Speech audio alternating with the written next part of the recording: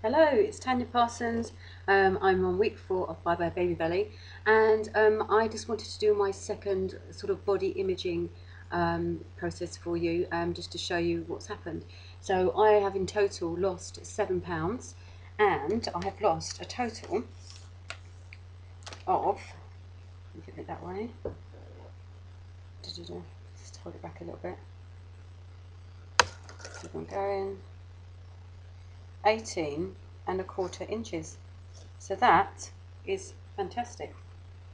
You see from the top of my head. so that's 18 and a quarter inches.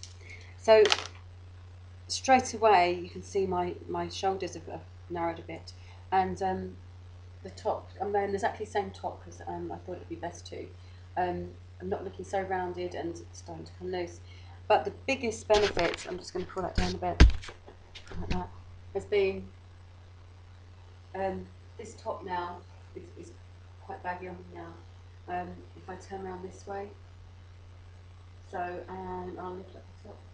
So now you can see I'm actually getting, compared to last time, at, my stomach is much, much, much better. Um, everything's just gone down, my hips have gone down quite a few inches. My navel area has gone down four inches, so I'm really, really pleased about that. So I'll just stand like that. It's starting to look a lot more better. Still got um, some more weight to lose, obviously. Um, but um, yeah, I'm feeling absolutely fine.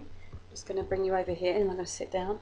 And um, all very, very good. So um, I think the um, the great thing about being on this is, is that the energy levels that you do get and just watching yourself change from your mindset to your energy levels, um, watching your inches going down, um, and just feeling so much more healthier. And um, I think you'd all agree my skin is looking really, really good. Um, so I'm, I'm very, very happy with that. So anyway, I just wanted to show you um, it's absolutely fine. I'm really, really pleased, and um, I'm looking forward to the other eight weeks of this process. So bye bye for now, Tania. Her body process analysis, week four of Bye Bye Baby Belly. Thank you.